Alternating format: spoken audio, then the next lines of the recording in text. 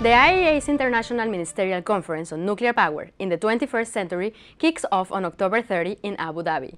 The conference is going to provide a platform for decision makers and policymakers to come together and discuss some of the challenges that might be holding uh, the greater implementation of nuclear power back in the world.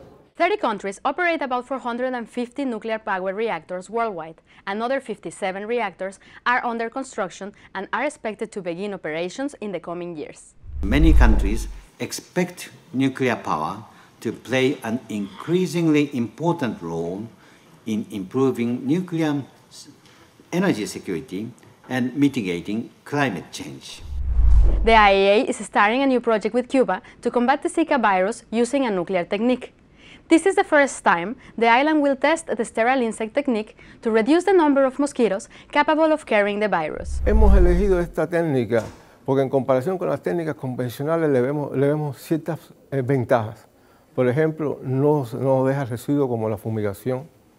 Es un método que sirve para controlar y no se elimina totalmente la plaga, es decir, que se mantiene un cierto equilibrio, no es dañina al medio ambiente.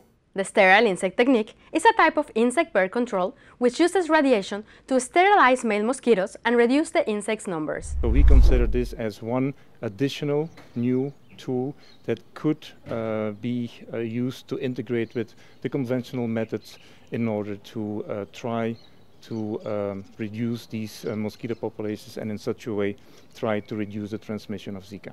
Cuba plans to start trial releases in Havana at the beginning of 2018.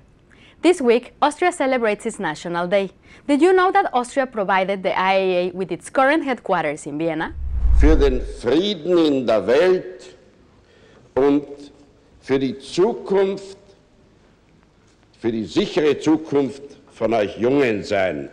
In diesem Geiste übergebe ich den internationalen Organisationen dieses große Haus. If you would like to know more about the IAEA, please visit our website. Thank you for watching and I hope to see you next time.